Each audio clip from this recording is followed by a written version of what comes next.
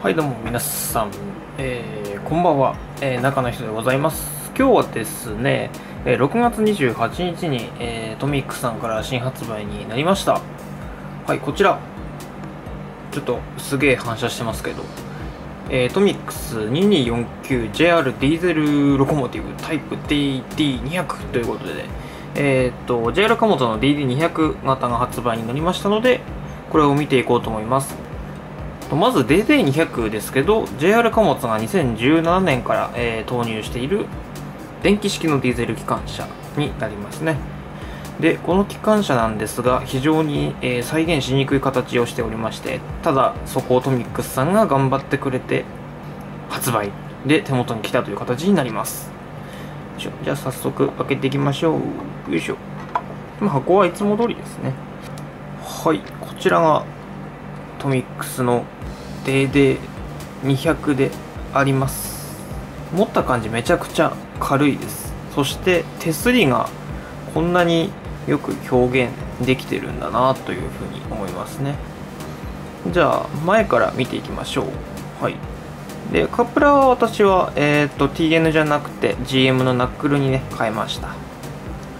でナンバープレートも見にくいですが21番のナンバープレートがついております。いやー細かいこういう細い手すりとかもちゃんと造形出てるってすごいなっていうふうに思います。でぐるっと回りまして車体の右じゃね左側になります。こちら側はちゃんと左右対称にはなりますが手すりがちゃんと造形されてまして台車もね二軸二軸でしっかり再現されております。後ろはあれですね前を短くした感じで1エンド側と違って煙突が片方にしかない姿がちゃんと再現されております。まあこっちも GM ナックルになってます。で反対側。こっちがいわゆる非公式側っていうやつですかね。先ほど見た車体の左側と準じたデザインになっております。屋根は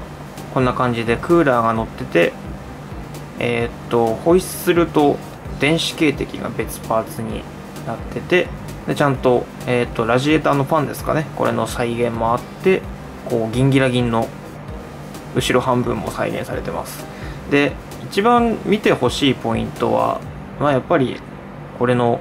煙突じゃないですかね。キャブから実を言うとこれわずかに離れてるんです。